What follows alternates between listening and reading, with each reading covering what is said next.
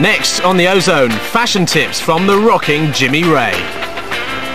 If I can find him. Hi, Jimmy Ray? Are you Jimmy Ray? Are you Jimmy Ray?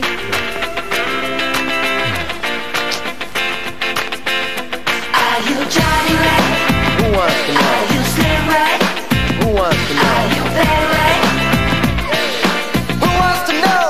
Jimmy, I'm sorry about that. Bit of earlier confusion with, the, with the, the thing. There's a bit of a severe similarity going on there, so yeah. no blame for that. But uh, listen, I like your style. I've seen the video. Thank you, man. And uh, and I need I need a few tips. I want you to you know can you can you help me out at all? Surround with me, unless you're feeling dangerous. See, I just don't know. You see, I mean, what is it? Is it blue? Is it brown? Well, this one for me is a bit too safari. You know, it's got it's a bit long. So this one's a bit more like up front. It's a bit more rock and roll, a bit more Day-Glo. Good God, I'm a believer. Are you Johnny Ray? One of the most amazing things in the video is these girls who are skipping. I don't know how much they weighed, but they were like ping pong balls because they were just bouncing up and down, and you could barely like hear them touch the floor and stuff like that. And they were just so cool, so cute, so nimble, and it kind of really made the video. Who wants to know? Now, I just thought you were American.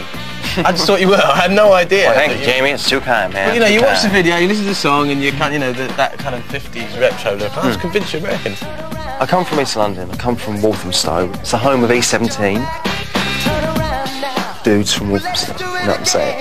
Are you Johnny Ray? Your other trademark is your is your hair. Throughout my childhood, I always had this really dodgy hairstyle. It was just, you know, my mum just chopped it in a complete sort of false cucumber circle around my head, and I looked like, um, I, was it like Mr. Logic from Viz? Do you ever see that guy? Yeah. Really sad. And I had spots to go as well.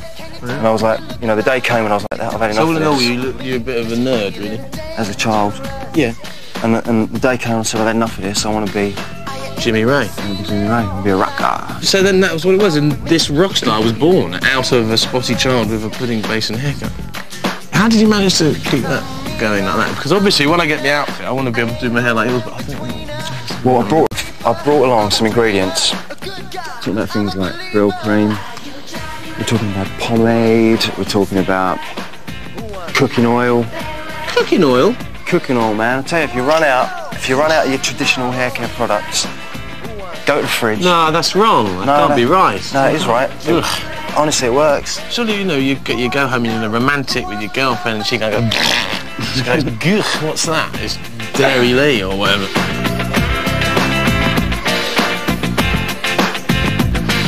Well, maybe we could check it down by What do you think? I think that looks cool, mate. I think you should um, bit of this. All right. Show me how it's done. Gotta let it out, something in my jeans. You come and take a walk with me.